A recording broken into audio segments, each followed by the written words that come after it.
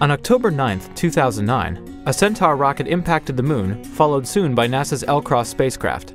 NASA's Lunar Reconnaissance Orbiter was there, both to help pick the location of the impact and to observe the resulting debris and vapor cloud. First, an impact site had to be selected. Data from LRO's LEND and Diviner instruments helped pick a good location. LEND to find a probable source of hydrogen, and Diviner to pick a cold, permanently shadowed region likely to contain certain volatiles. Once the impact occurred, these same instruments, along with LRO's LAMP instrument, observed the impact. LAMP revealed the presence of molecular hydrogen, carbon monoxide, and other materials.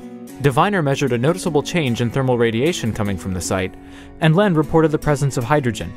All in all, these results both complement L-CROSS findings and pave the way for future study of Earth's own satellite.